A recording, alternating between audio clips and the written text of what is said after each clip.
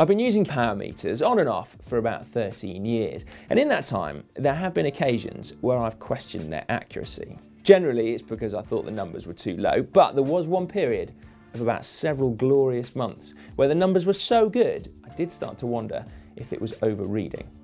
And if truth be told, I suspect that actually it was. But anyway, power2max, who are one of our power meter partners here at GCN, have said that in spite of the renowned reliability and accuracy of their product, that it is just a common question amongst customers. How do you know if your power meter is accurate? Well, they've let us in on a little secret. There is a very simple test that you can do to find out. All you've got to do is work out the total weight of you and your bike, and then ride up a hill of known length and height gain. And then using that data, you input it into a spreadsheet, which will, using an algorithm, then tell you what your estimated power output will be. And they recommend that you head over to the website of a chap called Wolfgang Menn, who it would appear is a very bright bloke, given some of the cool content that he's got on there. And his algorithm, which is free to use, is accurate enough to gauge the accuracy of your power meter. So, this has, of course, piqued my interest. I want to go and see if my power meter is accurate. This isn't exactly d'Huez, I'll admit, but it doesn't actually matter. This is Lansdown Hill in the UK. It is 1.3 kilometres long, it climbs 121 metres, meaning that the average gradient is 9%. Now I'm going to have to ride it three times so that we can get three readings. And all I need to do is record my time up it and of course my average power so that I can actually compare it later. And then I suppose I can't escape the inevitable. I need to weigh myself.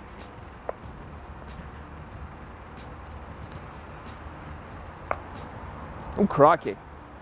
Yeah, wouldn't you like to know, eh?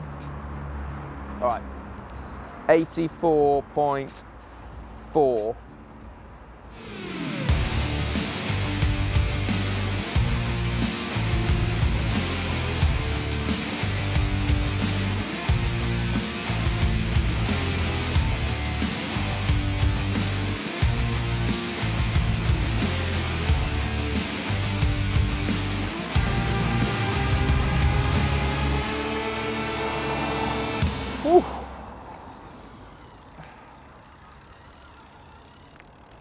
Three runs down, back to the studio. okay, back in the office, armed with our data, we're going to fire up Wolfgang's website and input it. Now, although we can work out power very accurately, there have to be some approximations in there. Because although we know the work done in order to move a certain mass up a hill, and from that we can work out the power as long as we know the time it's taken in order to do that work, there are two extra variables when it comes to cycling, of course, aerodynamic drag and also rolling resistance. So the algorithm does take that into consideration and it adds them in. But we've got to remember that they will vary from rider to rider and also bike to bike. Riding up a hill, to a certain extent, it does negate it, and the steeper the hill, the less of a factor they will be. But don't go doing this on your mountain bike or indeed into a block headwind. Okay, let's input run number one. Length of climb, 1,340 meters. Height difference, 118.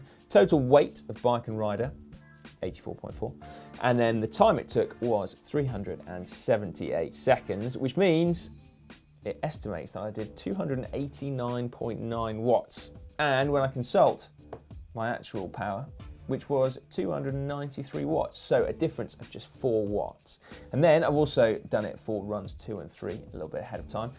Estimated 295, real 301. Estimated 297.9, real 303. So we can all see, therefore, that they are within the realm of accuracy. Power meters are generally rated to plus or minus 2%. Some aren't quite as accurate as these from power2max.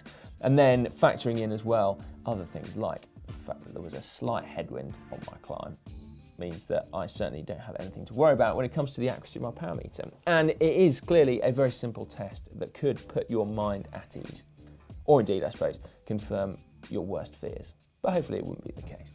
And then also, you've got to remember, if you don't have a power meter, you can use this algorithm to estimate your own power output. Just bear in mind that weight is super important. So don't weigh yourself on your bike before you set out on a long ride and then do the test at the end, having sweated out a kilo and a half of water.